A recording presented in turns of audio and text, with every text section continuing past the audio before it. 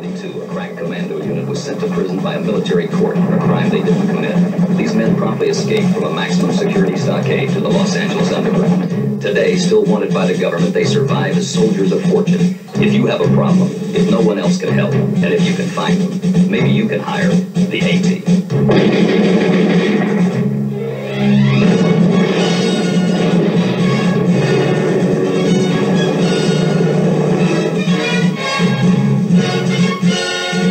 Yeah, yeah, yeah.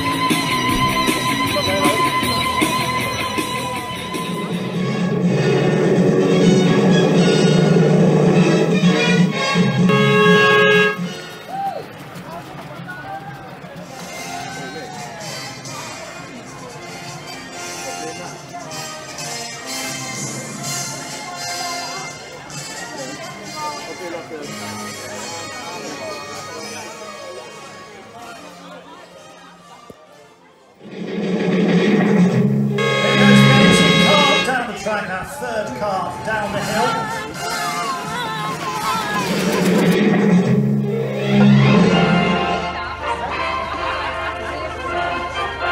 The 2019 Soapbox Derby, the 80.